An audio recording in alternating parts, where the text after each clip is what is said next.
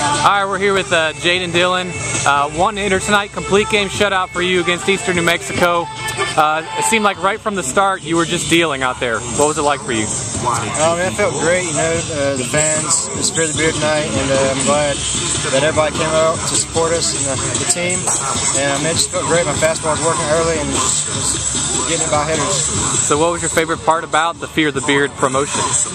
Um, I was looking in the back of the back behind home plate, looking at everybody with the beards on. It's kind of cool. Now, just talk about you guys. Uh, uh, three more games with Eastern New Mexico this weekend. How's this set you guys up for the rest of the weekend? Uh, sets up great. Uh, you know, they're they're um, they're down right now, and uh, our I mean we're very up, energy's up, and uh, I think we'll be fine. So, How'd your How'd your arm feel out there? Yeah, it felt great.